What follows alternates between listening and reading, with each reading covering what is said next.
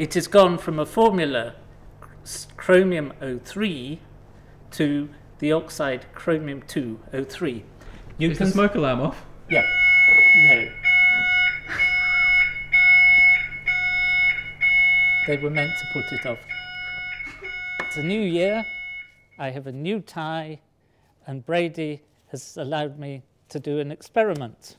And it's an experiment which I used to do quite frequently. That's once a year to undergraduate lectures when I was talking about oxygen and oxidation. Unfortunately, I've now moved to a different lecture course, so I can't do this anymore. And it is about a compound of chromium, chromium trioxide. And chromium trioxide is quite an unusual compound of chromium where it is very highly oxidized. So the oxygen has taken a lot of electrons away from the chromium, which makes it very reactive. And the compound itself is a sort of dark red colour. It's not terribly exciting to look at. It's quite pretty. But it looks quite nice when you grind it up. And when you grind it up, it starts going a bit redder.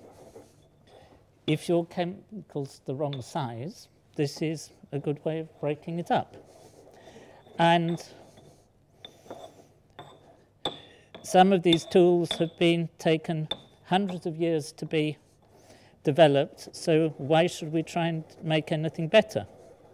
If you grind up something, it reacts faster. And in this case, it might not really be necessary, but in the old days when I did this, the chromium trioxide came in quite big flakes, which really did need breaking up. But it doesn't hurt to break this up as well. So let's just heap it up a bit in here and put it behind the screen. And I'm wearing gloves because chromium trioxide is quite a nasty compound. It can oxidize the molecules in your body and is potentially quite carcinogenic. It can cause cancer, which is why people have to be careful with this oxidation state of chromium. So I shall put the lid back on to the bottle. It's got a nice lid. Somebody's written the formula on the lid.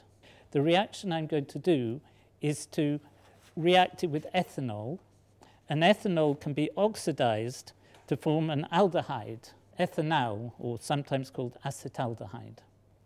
It smells quite nice. And because ethanol is an inflammable liquid, whenever you're pouring out inflammable liquids, you need to pour them out from a small vessel. If you pour them from a bigger vessel, if they catch fire, the flame can go up the liquid faster than it comes out, and you suddenly have the whole bottle on fire. With a smaller vessel, there isn't much to catch fire, even if the flame does come up.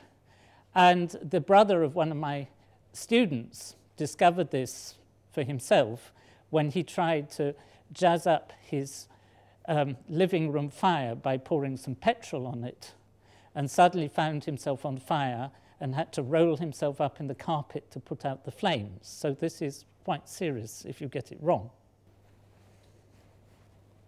I'm protecting myself with some nice woolly gloves. Okay, so shall I get these all going? Yes. All right, we're ready.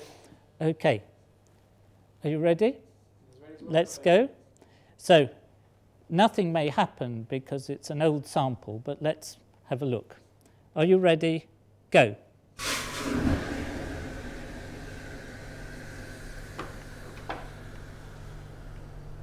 Not bad. Not bad. It's brilliant. And if you now look, the sample has gone quite a nice green. The green is chromium 3, chromium 203. It has gone from a formula chromium 03 to the oxide chromium 203. You is can the smoke alarm off? Yeah. No. They were meant to put it off. So I've set the smoke alarm off. It's very embarrassing because I told them to change it and I'm the safety officer, so I must go and deal with it. Hi. You forgot to switch it off.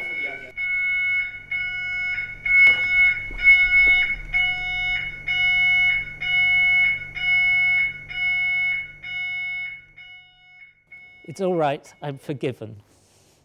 But don't do it again.